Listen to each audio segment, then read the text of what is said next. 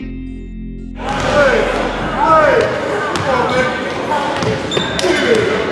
no, you ever had like an old Regal? You got to start up and sit there for a while, you know, before you pull off and you go on your little road trip. But once you get going, you know, the car feel like a 2016 Lexus or something. You know, I I think that's just kind of our problem. I, I don't know. You know, it's something that you know we have to be better with. You know, we can't feel our way into. We can't wait till a team hit us or whatever it may be. You know, we gotta we gotta have that automatic start and then and get out get out as soon as that ball goes. You know, in the past, this, uh, this has been a resilient team.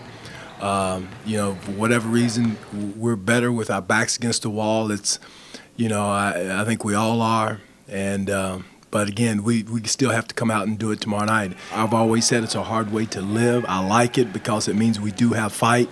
But uh, let's let's start that fight in the first quarter. That's been our, our we've been preaching that now for a while to start the first quarter. We've had it in stretches, but uh, you know we we we've kind of lived by being behind and getting down and fighting back, and uh, it, it's it's taxing.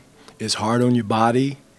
It's fortunate we do have the the fight and the grit and the grind to fight back, but sometimes it jumps up and bites you in the behind when you don't. But I saw from from the guys, they really they every time you know before the game, everybody's ready, everybody's motivation, everybody wanna, you know, like even today, people was here earlier working hard to get ready for tomorrow, you know, and then when we come the game, those kind of things happen. So, you know, even myself, sometimes I ask myself why, you know, why. So, I don't really know. Know, I don't really know. Maybe you guys from outside, you can tell us, you know.